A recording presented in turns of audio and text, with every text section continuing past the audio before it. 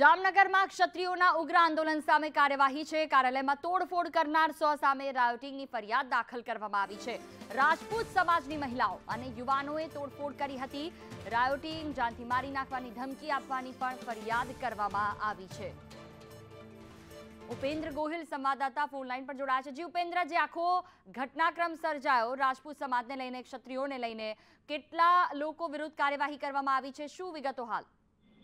જી ચોક્કસથી જણાવી દઉં કે હાલ જે રીતે ભાજપના જે રાજકોટના ઉમેદવાર છે, પુરુષોત્તમ રૂપાલા, તેની જે તેની અત્યારે હાલ અત્યારે ઠેર ઠેર વિરોધ નોંધાયો છે. ત્યારે વાત કરીએ જામનગરની, તો જામનગરમાં પણ રોજ વોર્ડ નંબર છ માં ચૂંટણી કાર્યાલયનું ઉદઘાટન કરવામાં આવ્યું હતું.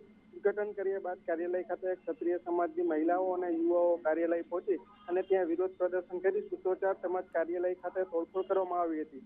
તેમજ વોર્ડ નંબર છ ના કાર્યાલય ખાતે હાજર રહેલા રાજકોટ સમાજની મહિલાઓ અને યુવાનો દ્વારા તોડફોડ કરવામાં આવી હતી. જેના પગલે જામનગરમાં પ્રથમ ગુનો નોંધાયો છે. રાઇટિંગ સહિતની કમલો કલમો ઉમેરવામાં આવી છે. સો જેટલા જે શખ્સો છે તેની અમે આ કાર્યવાહી કરવામાં આવી છે. બીજી તરફ બિલકુલ તો અપડેટ માટે આપણી પાસે પાછા ફરીશું. જાણકારી બદલ આભાર.